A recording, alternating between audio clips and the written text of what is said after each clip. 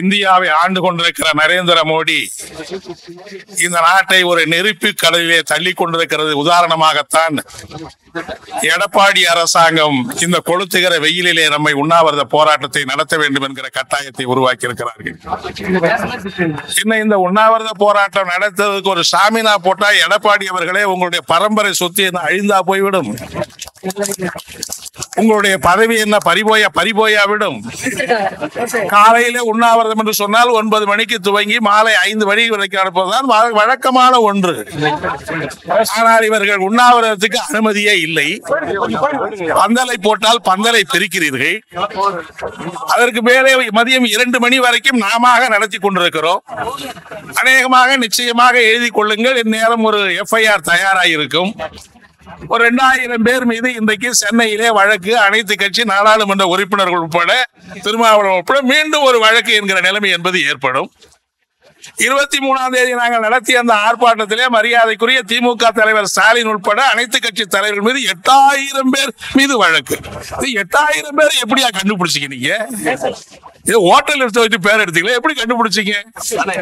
தென்காசியிலே அங்கே மக்கள் கொலை போராடுகிறார்கள். மூவாயிரம் பேர் மீது முந்தா நாள் வழக்கு. நான் எடப்பாடிக்கு ஒன்றை மட்டும் சொல்லிக் கொள்கிறேன். நீங்கள் எட்டு கோடி தமிழ் மக்கள் மீது வழக்கு போட்டாலும் சரி இவர்கள் அத்துணையும் தமிழகத்தையே சிறைச்சாலையாக மாற்றினாலும் சரி இந்த போராட்டம் பின்வாங்க போவது இல்லை என்பதை மட்டும் நான் இங்கே உறுதியாக சொல்லிக் கொள்ள விரும்புகிறேன்.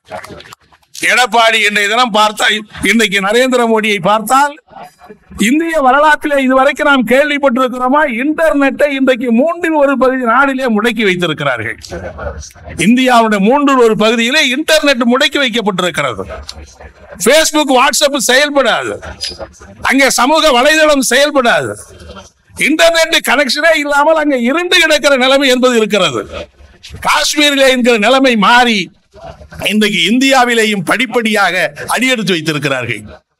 இதுவரையில நடைபெற்ற போராட்டத்திலே நேற்று வரையில இருபத்தி ஐந்து உயிர்கள் இதற்கு பலி போயிருக்கிறது. மோடி அரசாங்கம் இருபத்தி ஐந்து பேரை கொண்டு குவித்திருக்கிற ஒரு கொலைகார ஆட்சியாக இன்னைக்கு நடந்து கொண்டிருக்கிறது.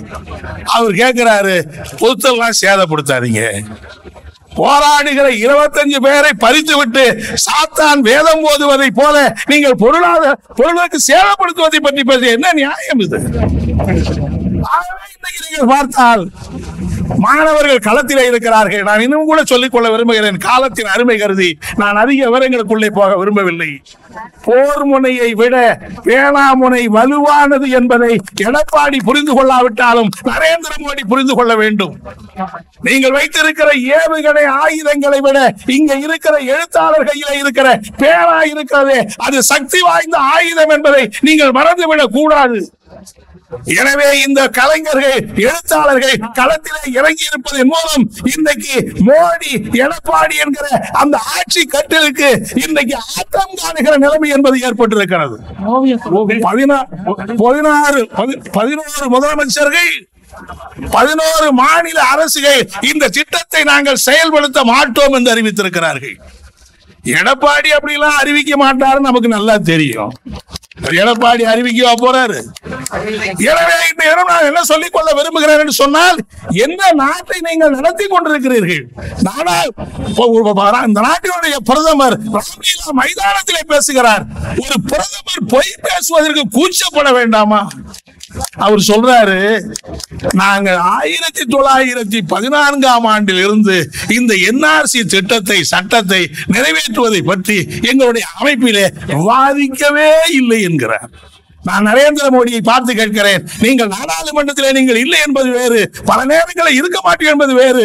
அமித்ஷா சொன்னாரே இந்த நாட்டிலே இந்த என்ஆர்சி திட்டத்தை அங்கே அஸ்ஸாமிலே இருந்து குமரி மாவட்டம் வரை வரை நாங்கள் தீவிரமாக அமல்படுத்த போகிறோம் என்று அமித்ஷா சொன்னாரே. உங்ககிட்ட பேசாமலே அவர் சொன்னாரா? ரெண்டாயிரத்தி இருபதுக்குள்ள இருபத்தி நாலுக்குள்ள இதை அமல்படுத்தி முடிக்க போகிறோம் என்று சொன்னாரே. உங்களிடம் கலந்து பேசாமல் சொன்னாரா? ரெண்டாயிரத்தி பத்தொன்பது நாடாளுமன்ற தேர்தல் அறிக்கையிலே நீங்க இந்த திருத்தத்தை இந்த நிறைவேற்றுவோம் என்று தேர்தல் வாக்குறுதி கொடுத்தீர்களே நீங்கள் விவாதிக்காமலே சொன்னீர்களா? எனவே இன்னைக்கு நரேந்திர மோடி அரசாங்கம் பகிரங்கமாக பொய் சொல்லி இந்த நாட்டு மக்களை ஏமாற்றுகிறார்கள். எவ்வளவு கேவலம். போராட்டம் நடத்துறவங்களை அவங்க ஆடையை பார்த்து நம்ம அடையாளம் புரிஞ்சுக்கலாங்கிறார். எவ்வளவு கேவலம். அதனாலதான் பாண்டிச்சேரியில இருக்கிற குடியரசுத் தலைவர் கலந்து கொள்ளுகிற அந்த பட்டமளிப்பு விழாவிலே ஒரு இஸ்லாமிய பெண்ணு கோல்டு மெடலிஸ்டா இருக்கிற பெண்ணை பட்டமளிப்பு விழாக்குள்ளேயே அனுமதிக்காமல் ஆடையை பார்த்து அடையாளம் காணுகிறார்கள். இப்படியெல்லாம் இந்த நாட்டிலே இந்து முஸ்லீம் என்று பாகுபடுத்துகிற இந்த கொடுமையை இன்றைக்கு அரங்கேற்றி கொண்டிருக்கிறார் நரேந்திர மோடி என்பதை நான் சுட்டிக்காட்ட விரும்புகிறேன்.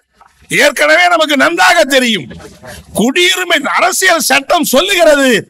இந்த நாட்டிலே மதம் சாதி பால் அடிப்படையிலே மனிதர்களை பாகுபடுத்தக் கூடாது என்று அரசியல் சட்டம் சொல்லுகிறது.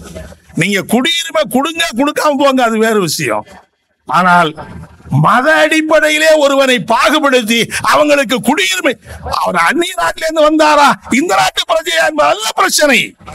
குடியுரிமை யாருக்கு கொடுப்பது என்று வருகிற போது அதுல எதற்காக மதத்தை நீங்கள் புகுத்த வேண்டும் என்கிற கேள்விக்கு இன்று வரையிலே அவரிடத்திலே பதில் இல்லை.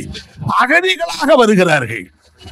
அகதிகளாக வந்தவர்களை கூட நீங்கள் மதத்தின் அடிப்படையிலே தான் பிரிப்பீர்கள் என்று சொன்னால் உங்களுடைய மதவெறி அரசியல் எவ்வளவு ஆக்க எவ்வளவு ஆதிக்கம் செலுத்துகிறது என்பதைத்தான் இன்றைக்கு நாம் பார்க்கிறோம். இப்ப என்ன அரசிட்டாங்க அப்புறம் என்பிஆருங்கிறாங்க அதாவது மக்கள் தொகை கணக்கெடுக்க எடுக்க போறாங்களாம் அதுல ஆவணங்களை கொடுக்கணுமா? ஆவணங்கள் இல்லைன்னா உங்க மக்கள் தொகை அந்த பட்டியலில் இடம் பெறாதா? அப்புறம் அடுத்த கட்டம் அவருக்கு என்ஆர்சி அப்ளை ஆகுமா? அப்புறம் என்ஆர்சி அப்ளை ஆன பிறகு அப்புறம் அவருக்கு குடியுரிமை திருத்த சட்டம் அப்புறம் ஆகுமா? என்று சொல்லுகிற அளவுக்கு ஏதோ ஒன்னாவது படிச்சு சேர்ந்து ரெண்டாவது மூணாவது வகுப்பு போற மாதிரி இந்தியாவில் இருக்கிற எல்லாரையும். ஏன் நான் என்ன கேட்கிறேன்னா இந்த நாட்டிலே பிறந்திருக்கிற மனிதனுடைய குடியுரிமையை பற்றி ஆய்வு செய்வதற்கு நரேந்திர மோடியை உனக்கு யார் அதிகாரம் கொடுத்தார்கள் என்றுதான் இன்னைக்கு நாங்கள் எழுப்புகிற கேள்வி. இந்த நாட்டு மக்கள் இந்த நாட்டு மனிதன் அவருக்கு என்ன குடியுரிமையை ஆய்வு செய்வது? அவர்களுக்கு என்ன இதுவரையில இல்லாத பாப்புலேஷன் கணக்கெடுப்பில் ஏன் விசேஷமாக செய்கிறீர்கள்? எனவே இப்படியெல்லாம் இந்த நாட்டிலே இஸ்லாமிய மக்களை குறிவைத்து தவிர்ப்பது என்பது மட்டுமல்ல. ஆர் எஸ் எஸ் அகந்தாவாக இருக்கிற இந்துத்துவா என்ற ஆளாக இந்த நாடை மாற்றுவது மட்டுமல்ல. இந்திய அரசியல் சாசனத்தையே தூக்கி எறிந்து வர்ண மனு திரும்ப மனு தர்மத்தினுடைய அடிப்படையில இந்த அரசியல் சாசனத்தை மாற்றுவதற்கான ஒரு சதி இன்றைக்கு அரங்கேற்றப்படுகிறது. ஏதோ இது சாதாரணமான பிரச்சனை அல்ல. இந்த நாட்டினுடைய அரசியல் சாசனம் உலக நாடுகளுக்கெல்லாம் எடுத்துக்காட்டாக இருக்கிற மதசார்பற்ற நாடு பன்முகத்தன்மையை பாதுகாக்கிற நாடு என்கிற அந்த அடிப்படை கோட்பாட்டை தவிடுபடியாக்கி ஒரு மனுஸ்மிருதி அடிப்படையிலே அவர்கள் அன்னைக்கே சொன்னார்கள் நாங்கள் இந்த அரசியல் சாசனத்தை ஏற்றுக்கொள்ள மாட்டோம். எங்களுக்கு அரசியல் சாசனம் மனுஸ்மிருதி என்று சொன்னார்கள். அந்த மனுஸ்மிருதியை இன்னைக்கு அரங்கேற்றுவதற்கு துடித்துக் கொண்டிருக்கிறார்கள். எனவே இந்திய நாடே கொந்தளித்துக் கொண்டிருக்கிறது. பல மாநிலங்கள் தீப்பற்றி எரிந்து கொண்டிருக்கிறது. தமிழகம் மெல்ல மெல்ல அது சூடுபிடித்துக் கொண்டிருக்கிறது. எவ்வளவு வழக்கு வந்தாலும் சரி மதசார்பற்ற சக்திகள் அனைத்து ஜனநாயக எண்ணம் கொண்டிருக்கிற எழுத்தாளர் கலைஞர்கள் உழைப்பாளிகள் தொழிலாளிகள் விவசாயிகள் அனைவரும் ஒரு பேரெழுச்சியாக திரளுகிற நேரம் இன்னைக்கு வந்து கொண்டிருக்கிறது. மோடி சொல்றாரு இந்த போராட்டத்துக்கெல்லாம் பின்னாடி கம்யூனிஸ்டுகள் இருக்காங்க நாங்க எங்களுடைய பொதுச் செயலாளர் தெளிவா சொன்னார். நாங்க எப்பயுமே போராட்டத்துக்கு பின்னாடி இருக்க மாட்டோம். போராட்டத்துக்கு முன்னாடி இருக்கிறவங்க தான் கம்யூனிஸ்ட். நாங்க முன்னாடி உண்மையிலேயே சொல்ல போனால் இந்த நாடு தீப்பற்றி எரிகிறதே இதற்கு பின்னாடி இருப்பது யார் தெரியுமா? மதவெறி பிடித்திருக்கிற ஆர் எஸ் எஸ் கூட்டமும் ஆர் எஸ் எஸ் தலைவராக இருக்கிற பிரதமர் நரேந்திர மோடி தான் இந்த பின்னா போராட்டத்துக்கு பின்னாடி இருக்கிறார்களே தவிர நீங்கள் இதை செய்யாவிட்டால் எடப்பாடி போன்ற எடுபடிகளை கையை கொண்டு இந்த சட்டத்தை நீங்கள் மாற்றிவிட்டால் இந்திய நாட்டு மக்கள் அனுமதிக்க மாட்டார்கள். எனவேதான் இன்றைக்கு மதசார்பற்ற அனைவரும் ஒன்று சேர்ந்து இந்த நாட்டை மத அடிப்படையில பிரிப்பதற்கு நீங்கள் என்ன விலை கேட்டாலும் சரி எத்தனை உயிரை பலி கொடுத்தாலும் சரி இந்தியாவிலே இருக்கிற இஸ்லாமியர்கள் இந்துக்கள் கிறிஸ்துவர்கள் பார்சிகள் பௌத்தர்கள் இருக்கிற மத அடிப்படையில பிரிவுபடுத்துகிற பிளவுபடுத்துகிற அந்த சதியை தவிடுபடியாக்குவோம். அந்த சதிக்கு சமாதி கட்டுகிறவரை இந்த எழுச்சி ஓயாது என்பதை இந்த நேரத்திலே சொல்லி அப்படிப்பட்ட போராட்டத்திற்கு நாம் மேலும் களம் காண வேண்டிய தேவை நாளுக்கு நாள் அதிகரித்துக் கொண்டிருக்கிறது. நம்மை இணைத்துக் கொண்டு போராடுவோம்.